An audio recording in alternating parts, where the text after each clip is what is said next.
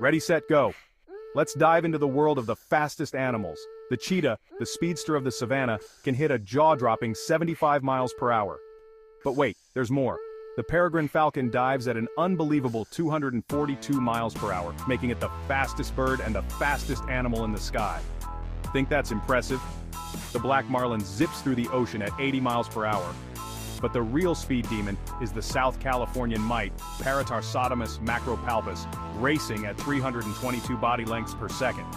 If humans could run that fast, we'd be zooming at 1,300 miles per hour. Crazy, right? Even the fastest insect, the Australian tiger beetle, can't keep up with this mite, clocking in at 171 body lengths per second. And our cheetah? Only 16 body lengths per second.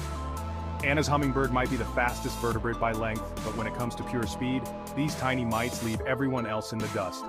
Nature's speedsters are truly incredible. Thanks for watching.